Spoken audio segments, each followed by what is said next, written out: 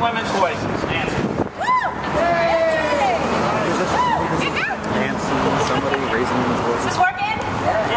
All right. Hi there. I'm Nancy Pitts, and I'm the Ohio Regional Coordinator for Raising Women's Voices, a national initiative that works to make sure that the concerns of women and our families are addressed in healthcare reform. Last week, we celebrated the second anniversary of the Affordable Care Act. Healthcare reform!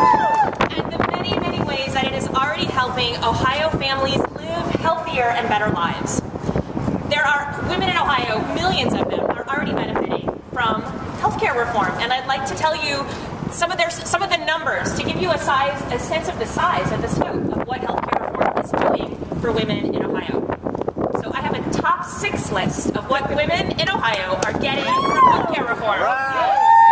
Number one, all new insurance plans are required to cover preventive health care like mammograms and cervical cancer screenings without charging us extra costs like copays.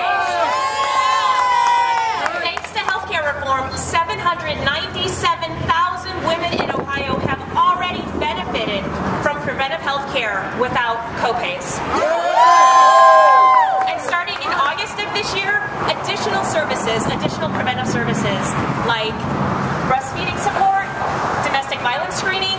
and contraception are going to be covered too. So we have that to look forward to. Number two, insurance companies can no longer set lifetime dollar limits on the amount of medical care they will cover under existing policies.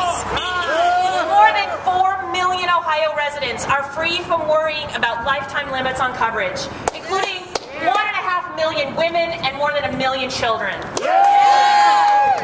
Number three, adult children can stay on their family health insurance policies until they're 26, like Paul said, unless they get coverage from their employer.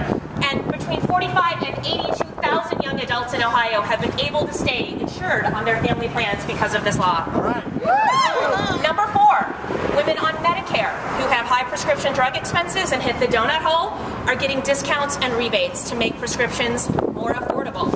Last year, over 106,000 women with Medicare in Ohio receive discounted prescription drugs at an average savings of $512 per person.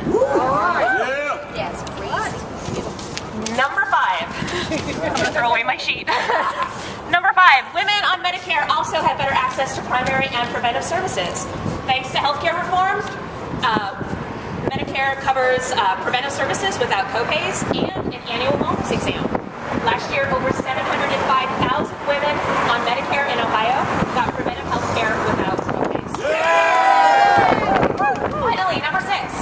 Starting in 2014, women will gain an important protection against the gender rating of health insurance policies, which means that insurance companies will no longer be able to charge women more than men for the exact same policy.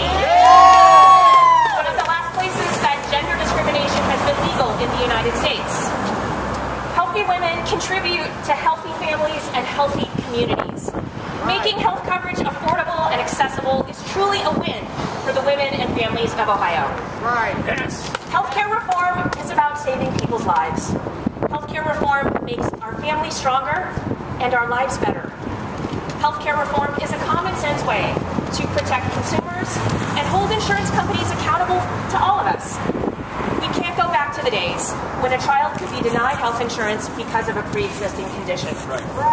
We should be taking steps to move forward with healthcare reform, building an Ohio where our communities are healthier, our families get the care they need, and no one has to choose between paying for a life-saving prescription or paying to put food on the table. Right. Thank you.